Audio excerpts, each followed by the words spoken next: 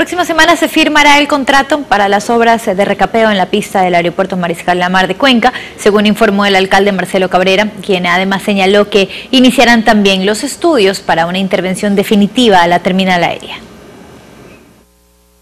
El aeropuerto está en emergencia, así lo declaró el directorio. Esto permite utilizar los 980 mil dólares que tiene en la caja la corporación ecuatoriana. La contratación será en el transcurso de los próximos 15 días. El aeropuerto estará cerrado por un mes. Ya definir la terminación del contrato, asunto que se hará esta semana para de forma inmediata subir al portal de compras públicas el recapeo de la, pista en una longitud de 1.900 metros por 15 metros de ancho. Los trabajos iniciarán entre el 12 y el 15 de agosto. Esta intervención durará al menos dos años y de manera paralela también trabajarán por una intervención definitiva. El compromiso de la CORPAC es contratar los estudios definitivos de la pista los estudios definitivos que tomarán alrededor de 120 días, más un mes de socialización, de, conformidad, de conseguir la conformidad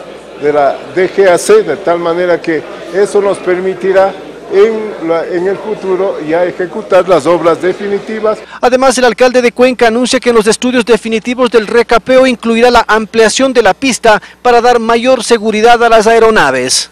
Para estos trabajos se prepara un plan de contingencia para que los usuarios utilicen la vía terrestre. Hernán Samaniego, Telerama Noticias.